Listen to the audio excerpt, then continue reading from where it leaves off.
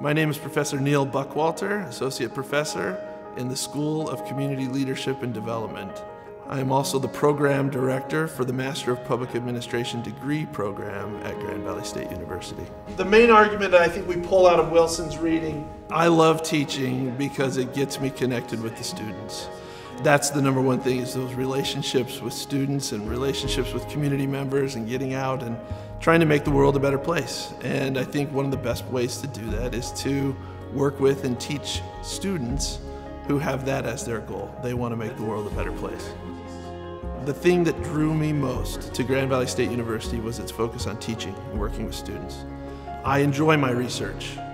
I enjoy service in the community, but I love working with my students. Whenever I'm out in the community and people ask me, what do you do? And I say, I'm a professor at Grand Valley State University, their first question is, oh, what do you teach? I respond by saying, I teach students who are passionate about making a change in their communities. And that gets me centered on why I'm doing this job and who I'm working with, these students. That's where I find my greatest joy.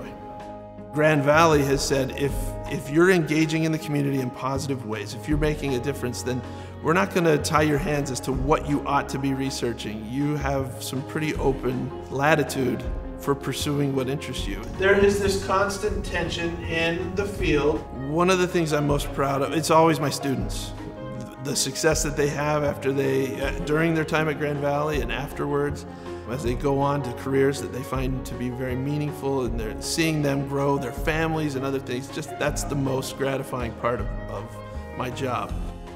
To be a Laker for a lifetime means to face the future with courage. To whether the seas are calm or choppy, you move forward with courage and help others to do the same on their journey.